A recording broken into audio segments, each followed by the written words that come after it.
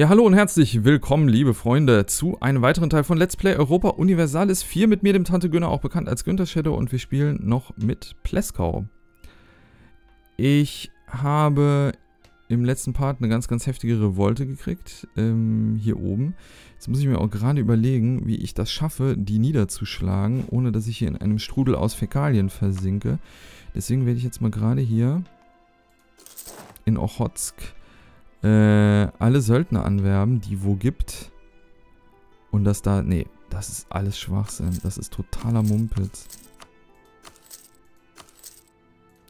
Nee, wenn die so verteilt sind, ist es doof. Das dauert ja 100, und 100 Jahre, bis ich die kriege.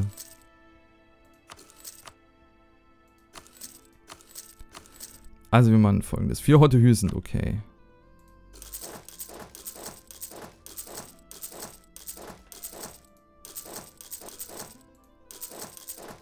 Okay. Äh, die Kanone brauche ich nicht.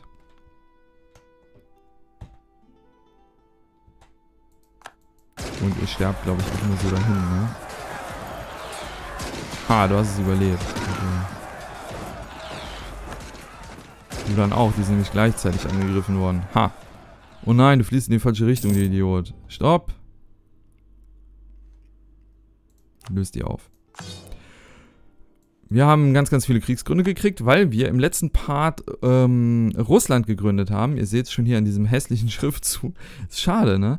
Das, naja, okay, gut. Wenn, wenn, dann wäre er hier vielleicht noch ein bisschen besser aufgehoben gewesen. Ich weiß es nicht, aber gut. Achso, das da klicke ich mal alles weg. Das ist relativ uninteressant. Interessant sind jetzt eher die Choransprüche, die wir jetzt haben. Ähm, und da sollten wir natürlich versuchen, Kapital draus zu schlagen. Zum Beispiel...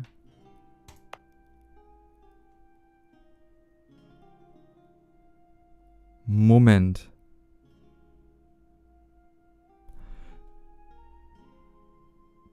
Das gehörte nicht immer zu mir. Da war eine Revolte.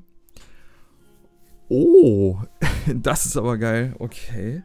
Das war, glaube ich, das, das ist das zweite oder dritte Mal in meiner EU4-Karriere, dass mir so ein Ding, ähm, dass mir so, ein, so eine Revolte tatsächlich Provinzen gegeben hat. Ist ja verschärft. Und sie sind alle katholisch. Toll. Ja, dann sollten sollten wir jetzt an der Stelle eigentlich versuchen, Litauen zu vernichten. Sind die immer noch verbindet mit Frankreich? Ja, Tatsache. Also da müsste man dann Polen angreifen, Frankreich mit zu den Waffen rufen und dann könnte man da Litauen ausschalten wenn man Litauen ausgeschaltet hat, müsste hier eigentlich die litauische Tradition auch weggehen. Obwohl, nee, Litauen behält ja den Choranspruch. Nee, vergesst, was ich gesagt habe. Ist alles Blödsinn. Wir könnten jetzt hier halt eine wunder, wunderschöne Eroberung gegen ganz, ganz viele Länder führen. Gegen Kasan mal jedenfalls nicht. Aber, und das wird dann wieder interessanter, gegen Nogai zum Beispiel. Ähm, mit Nogai haben wir zwar noch einen Waffenstillstand, aber Nogai könnten wir ja auch nochmal benutzen, um hier eben unsere ähm, unsere Kollegen etwas zu verstärken. Du, Pro, du bist ja, ne, Kasachstan habe ich katholisch gemacht, genau, die habe ich ja released und du bist allerdings orthodox noch, weil ich habe die schon so lange, das ist echt unglaublich. Okay. Hm, ich werde jetzt ausnahmsweise, glaube ich, tatsächlich mit dem Fokus auf Diplo gehen.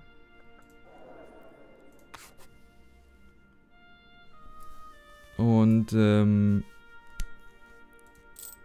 Schauen wir nochmal gerade ganz kurz. 16,2 Kröten machen wir momentan. Ja, unser Militär ist recht teuer. Vielleicht bauen wir das noch ein bisschen zurück. Das müssen wir mal gucken. Erstmal wollen wir aber hier jetzt diese, diese Revolte da niederschlagen.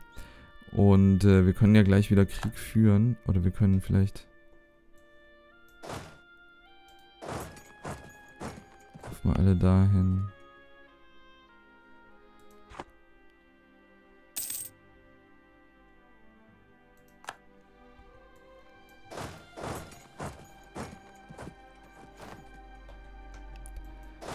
So.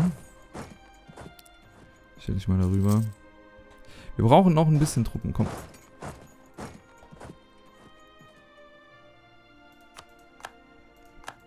Aha, die Barmanis mussten Madurai freilassen.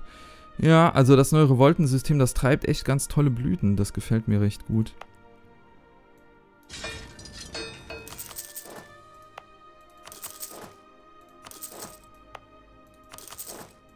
So, wir holen uns noch ein paar Söldner.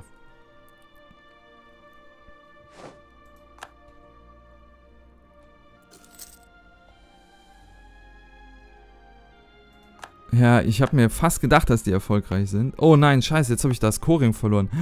Ja, okay, gut. Aber es war zum Glück auch nicht so teuer. Es war nur eine zwei Grundsteuerprovinz, aber trotzdem. Dann bin ich jetzt wieder bei dem Punkt angelangt. Ich habe ja vorhin aufwendig hier Ansprüche fingiert, damit ich billiger koren kann. Dadurch, dass sie jetzt so schnell fertig waren, habe ich hier unten den Chor verloren. Wodurch ich wieder mehr Macht verloren habe, als ich eigentlich hierdurch jetzt gespart habe, dass ich da Ansprüche drauf fingiert habe. Ach, ist es nicht ätzend. Ja, ähm, was wir ganz, ganz lange nicht mehr gemacht haben, war Dänemark aufzubauen, aber die haben auch nur so wenig Ansprüche. Die machen keine Ansprüche auf Norwegen, das ist echt blöd. Mhm, aber ansonsten war das, glaube ich, eine sinnvolle Sache. Macht Frankreich mit, wenn ich Polen Krieg erkläre? Ja, machen sie, okay. Ähm, das ist eine feine Sache, vor allen Dingen, weil Frankreich ja eine gemeinsame Grenze mit Polen hat. Wie viele Truppen hat Frankreich wieder? 183. Okay, sie haben wieder die größte Armee auf dieser Erde. Weil wir sollten ja schon versuchen, unsere Ansprüche durchzusetzen. Ich kann jetzt ja nur schlecht sagen, hier da als Verbündeten mit reinholen. Auf der anderen Seite, warte, wir können einen ganz easy Gegner nehmen, nämlich zum Beispiel Polotsk. Genau, dann nehme ich nämlich hier Frankreich mit rein.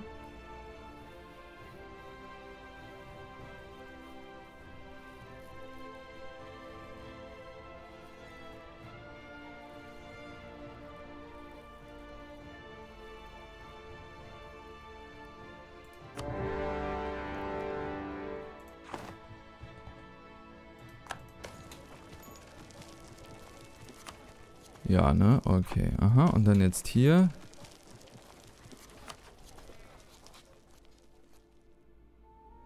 Muss ich noch ein bisschen warten.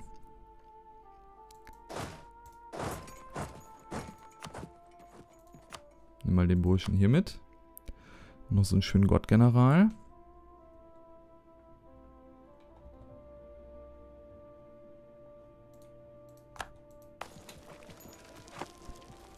Du bist schon ein Chor, ne? Ja, okay. Ich jetzt gerade ein bisschen paranoid.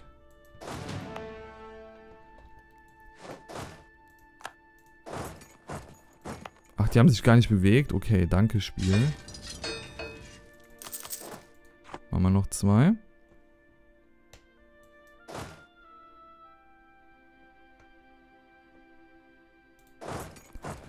Wow, der hat tatsächlich bis irgendwo hier hinten ins Nirvana gebaut. Okay, kranker Shit.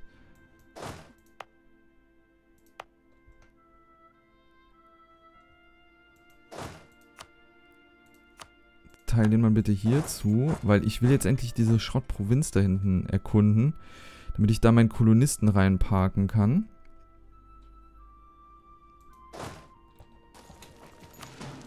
So, und dann machen wir dich mal gerade ein bisschen kleiner.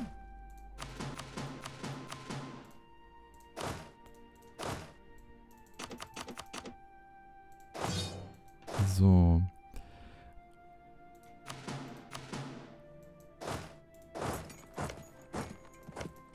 Okay, das sind alles nur... Das sind alles nur kleinere Garnisonen.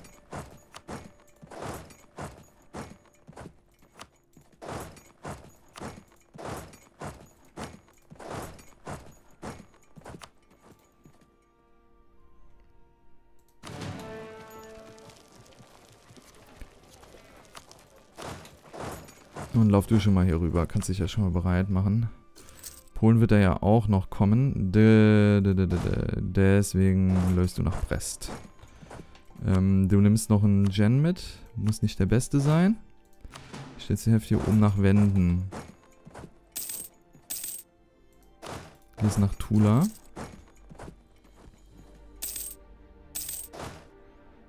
Und du gehst nach Plock. So. Hier oben werden jetzt gleich die nächsten Rebellen erfolgreich sein, aber das juckt uns nicht so sehr. Hm, nimm dem, der hat ganz, ganz viel Manöver.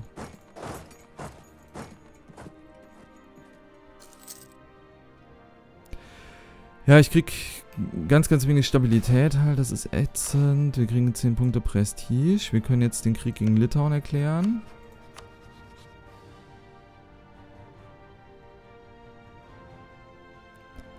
Eroberung von Bryansk, glaube ich. Nee, von... Achso. Litauen selbst gehört, kann ich nicht nehmen. Hm.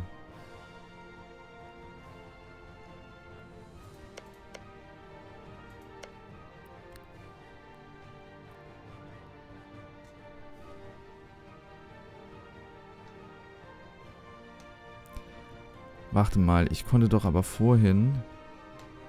Ich kann ja noch eine Provinz ansagen. Wo ist die denn?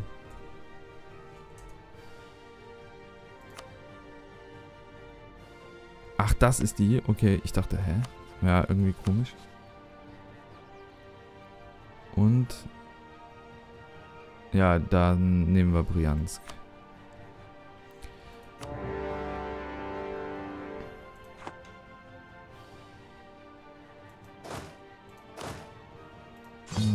Halbe halbe.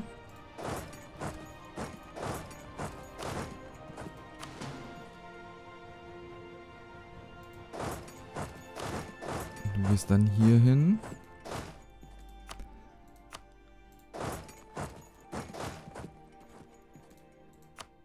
Ja, passt doch.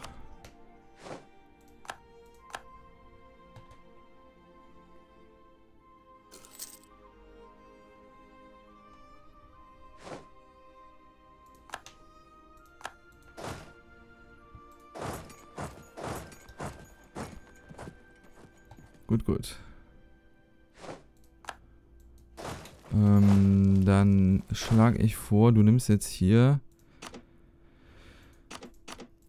kleinere Armeestückchen mit und verteidigst mal hier, genau, und dann kannst du mit dem Part hier runterlaufen. Da werden wir dann Polen mit belagern. Ja, so wäre ja da jetzt erstmal hier die Überlegung.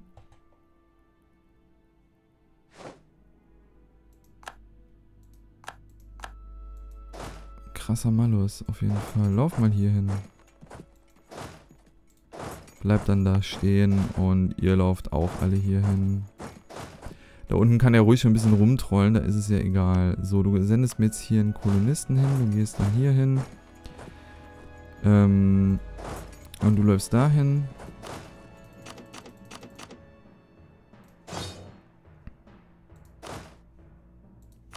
Die lösen wir auf, die Kanone will ich nicht.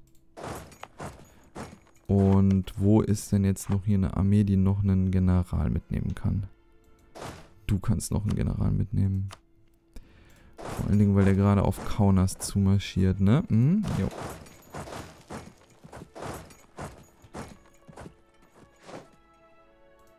Und Dänemark sofort zuck. Schon Gewehr bei Fuß.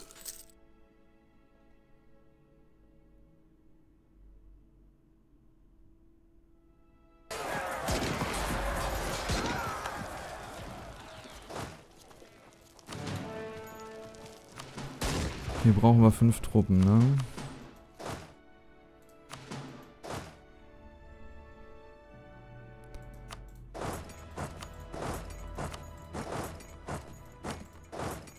Mach das bitte so. Und dann kann ja Dänemark hier drüben alles irgendwie belagern. Dänemark ist ja immerhin schon mal da.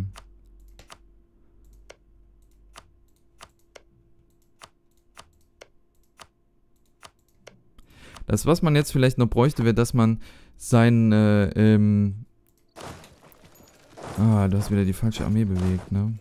Was man jetzt noch gebrauchen könnte, wäre, dass man, oder ich habe die falsche Armee ausgewählt und dann intuitiv in die falsche Richtung geschickt, dass man ähm, bei seinen äh, Vasallen sagen könnte, ach, die haben sich bewegt, interessant. Ähm, autonomes Rebellen unterdrücken oder irgendwie sowas, ne? Also ihr kennt das Ding ja.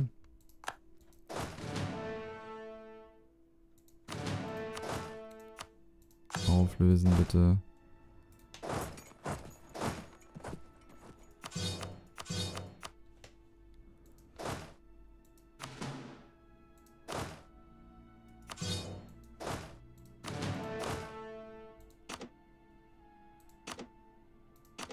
Sächsische Söldnerinfanterie, die kann weg, die ist ja veraltet.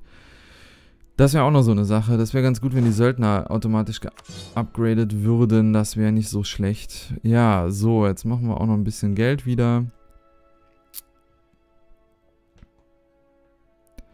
Und dann müssten wir jetzt eigentlich nur noch Polen, Litauen und Polotsk wegplätten.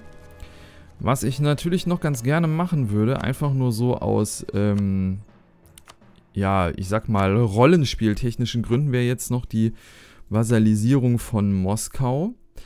Ähm, das geht aber ja erst in vier Jahren. Das wird also jetzt relativ lange noch dauern. Wir haben noch eine Viertelstunde. Wir haben erst eine Viertelstunde gespielt. Das könnten wir da machen. Also Moskau würde ich ganz gerne vasalisieren. Habe ich mal gerade hoch 10, 26, 38, 51, 61, 73, 83. Also das sollten wir vielleicht noch versuchen. Das könnte ich mir recht witzig noch vorstellen.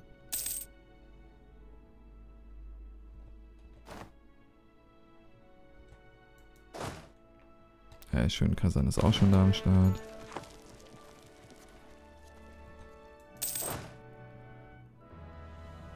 Muss jetzt übrigens mal gerade raus.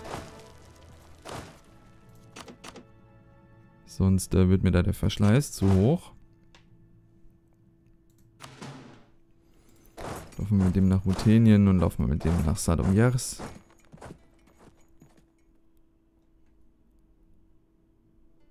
Gut gemacht, Kasan. Schön.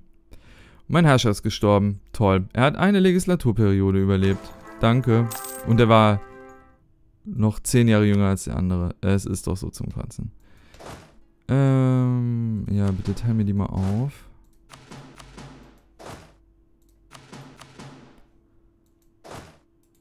Also den nach Moldawien, den nach Podolien, den nach hier, den nach hier, den nach hier, den nach Krakau. Wir teilen noch weiter.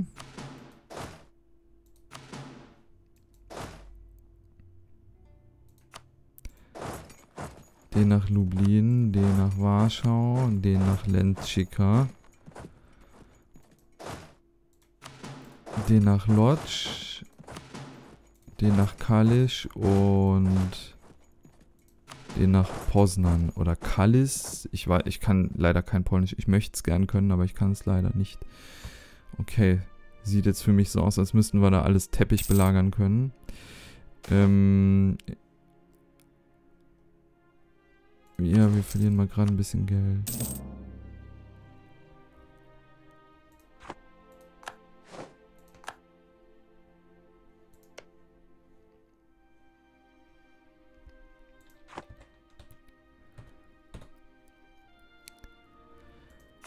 Schauen wir mal gerade, was haben wir denn noch so für Kriegsgründe?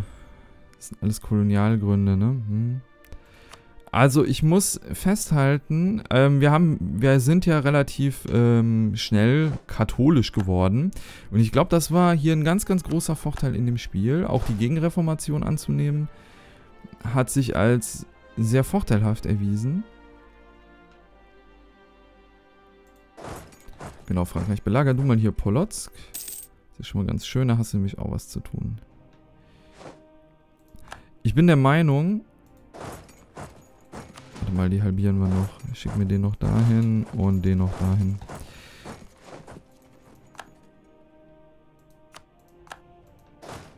Und ich schicke mir den dahin nach Krakau. Ich bin der Meinung, dass es sich äh, in jederlei Hinsicht sehr gelohnt hat. Das war auf jeden Fall eine feine Sache. Wir haben ganz, ganz, ganz, ganz krass davon profitiert, hier ähm, sechs Feuer und drei Manöver ist jetzt Oh, ich kann aber momentan eh nur noch drei Befehlshaber haben. Okay, ja. Äh, ja, genau, auf die Sache mit der, äh, mit der Machtprojektion, da muss ich irgendwann noch zu sprechen kommen. Mm, das ist jetzt aber natürlich noch nicht so akut. Und ich stelle gerade fest, dass Moldawien nicht ordentlich belagert wird.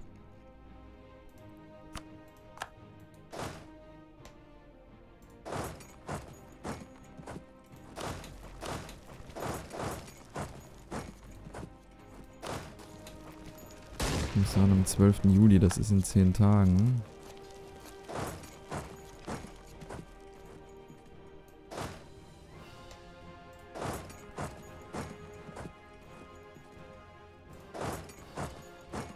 Auch du ab nach Lodge. Wir hatten ja die Religion jetzt hier nicht gewählt, um Kriegsgründe zu führen, sondern einfach, weil sie uns mehr Vorteile gebracht hat, als es jetzt orthodox zu sein gewesen wäre. Also man sollte schon nicht vergessen, ähm, Toleranz ist ein Glaubens plus eins ist schon extrem gut für die eigenen Provinzen, die dann katholisch sind, weil die einfach wesentlich weniger Autonomie brauchen um zu funktionieren und gute Boni zu bringen. Das ist auf jeden Fall ein Punkt. Und ähm, die andere Sache war, dass wir ganz immens hier von dem Papstsystem äh, äh, äh, profitieren konnten. Weil wir uns dadurch immer wieder Stabilität zurückkaufen konnten. Wir haben ja unglaublich viel Stabilität verloren durch irgendwelche Events. Und es ist doch auf jeden Fall ein großer Rückschlag immer, wenn man sich hier die Stabilität dann entweder durch Punkte im Bereich republikanischer Tradition und ähnlichem zurückkaufen muss. Das ist einfach total scheiße. Das ist nicht gut. Ähm, man muss es stattdessen ja versuchen zu schaffen, ähm, die republikanische Tradition so lange und so weit wie, äh, wie, wie, wie möglich oben zu halten, damit man bessere Herrscher bekommt. Das hat ja auch irgendwie nur begrenzt funktioniert und ich glaube, ein ganz wichtiger Faktor ist, dass unsere Herrscher zu, also ganz oft zu ungünstigen Zeitpunkten gestorben sind. Und auf der anderen Seite... Ah ja gut, das ist freigeboxt, schön. Ja, dann bleibt mal da stehen.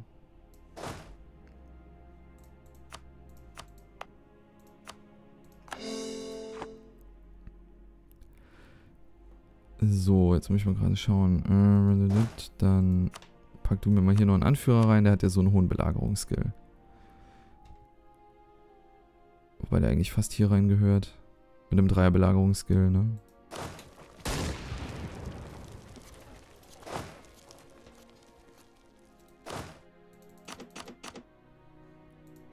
Lauf mal hier runter. Dann können wir den da einsetzen, wo wir ihn am meisten brauchen.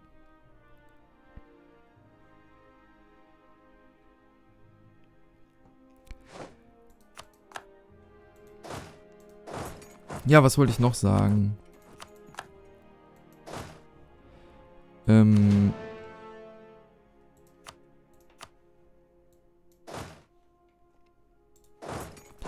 Die Idee, die hinter der ganzen Sache steckt, ist ja eigentlich, dass man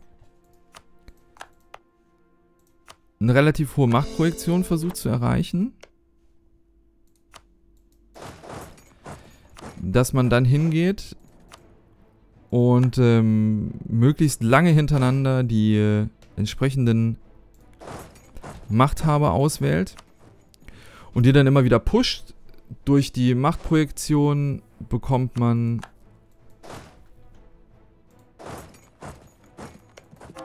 Ich glaube, ich habe gar keinen dritten Rivalen ausgewählt. Kann das sein? Moment, was ist das denn jetzt hier gerade? Das geht jetzt aber relativ schnell. Na, ist eigentlich ganz gut. Okay, machen wir mal folgendes. Ähm, ich wollte ja eigentlich nichts von Polen haben. Deswegen werde ich nur dein Geld nehmen. Ach, guck mal da, es wird nur 50, wird nur 50 Diplomacht kosten. Und Kriegsreparation hätte ich auch noch gerne.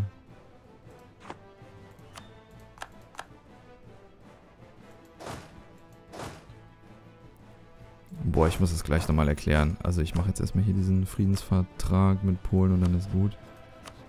Jetzt machen sie es auch schon. Wunderbar.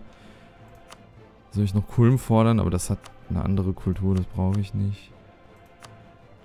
Soll ich verlassen, verlangen, dass sie Schlesien freilassen? Habe ich eigentlich nichts von. Militärzugang, Bündnis, Bündnis, Bündnis ist eigentlich okay. Okay, machen wir das erstmal so. Und ab nach Moskau. Zurück ins wunderschöne Vaterland.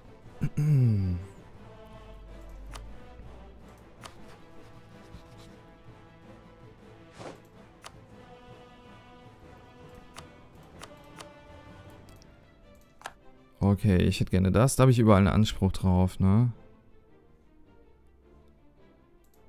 Ach, guck mal, ich kann sie auch voll annektieren. Ein Problem weniger, aber mal gerade gucken, wie viel...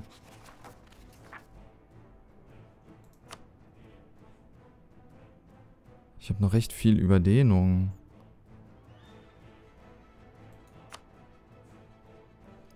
Das dauert so lange.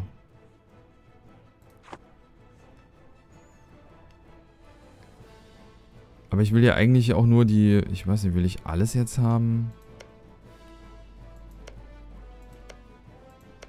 Ist so eine preußische Provinz dabei. Ah, preußisch habe ich nicht mehr als akzeptierte Kultur. Ja, wir warten noch ein Sekündchen.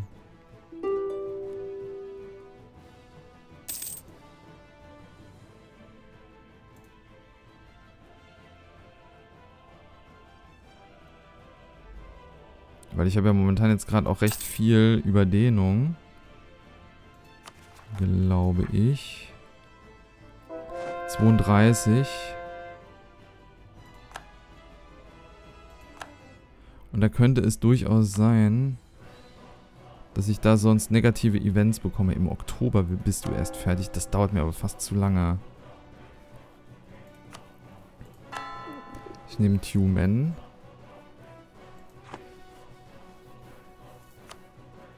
Wie viel Überdehnung gibt mir denn eine volle Annexion? 31, äh, äh 41. Ja, dann, äh, werde ich mir aber wahrscheinlich Polotsk nicht mehr nehmen können. Mugiljov geht noch.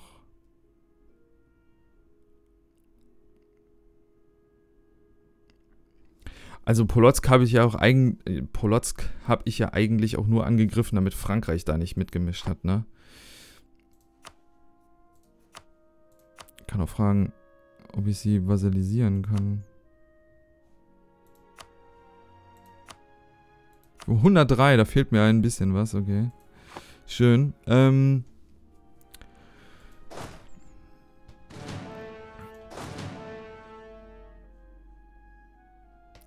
Das sind doch immer die schönsten Friedensverhandlungen, wo man dann so gerade dran scheitert, ne?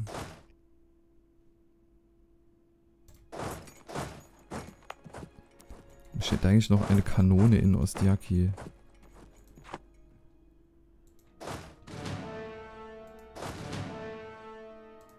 Okay.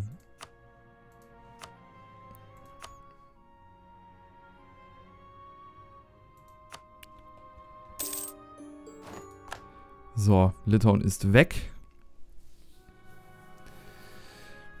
Jo, ich weiß, Überdehnung ist ziemlich, ziemlich hoch gerade. Und zwar was? 132 Prozent? Woher kommt die? Wa what? Das. Oh Gott, ich hab's verwechselt mit der AE. Mm, mhm, okay. mm, dann machen wir folgendes.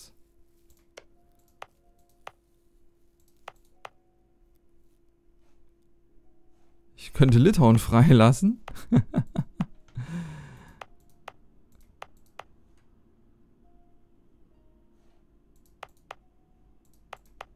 Das wird jetzt bitter. Das müsste ein schöner Aufstand werden. Den schlagen wir dann noch nieder. oh, aber das wird ein richtig schöner Aufstand. Ach du meine Fresse. Wie soll ich denn das schaffen ohne Gewaltmarsch?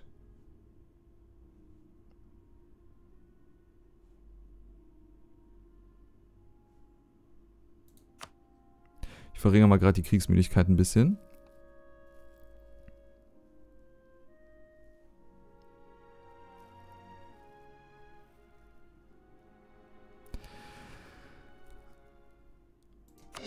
Aber im Gegensatz zu Polen-Litauen, wo wir halt die... Ah, es ist, das ist Litauen, was so viel Überdehnung bringt, ne?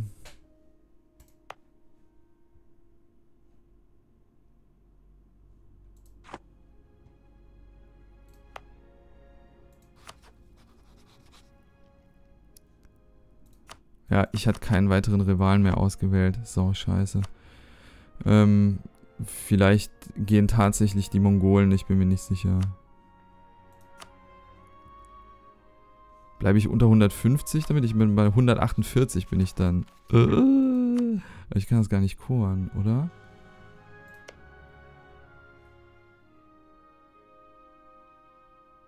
Ja.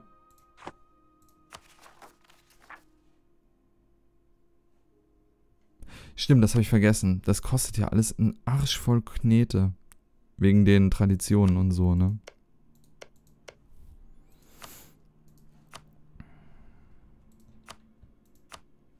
Komm, gib mir dein ganzes Geld.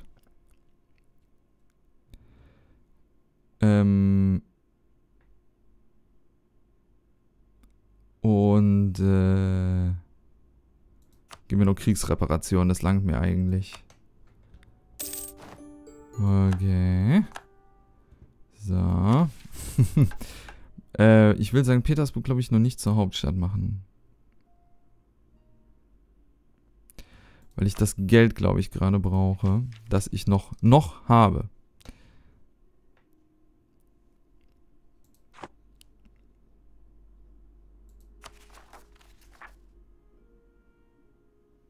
Kalka-Nationalisten, das ist wahrscheinlich ganz, ganz außen. Partikularisten. Okay. Mm, aber das Gute müsste sein, dass die Überdehnung relativ bald wieder runtergeht. 20, 28, 32. Ja, es geht um 32 Punkte runter. Dann sind wir. Ich weiß gar nicht mehr, ob wir da noch bei. Ähm, ich weiß nicht, ob wir dann noch bei 132,8 sind. Ja, das ist ein bisschen bitter. Okay. Da habe ich mich echt verguckt. Ist nicht das erste Mal in diesem Let's Play. Okay hol mir noch was zu trinken und dann würde ich sagen, machen wir so langsam die Abschlussbesprechung von der ganzen Kiste, weil Russland vasalisieren, obwohl zwei Jahre. Ja, vielleicht können wir das noch ein bisschen laufen lassen von der Zeit her und dann die Abschlussbesprechung machen. Aber einen kurzen Cut, ein kurzer Cut muss an der Stelle sein. Ich sag bis gleich.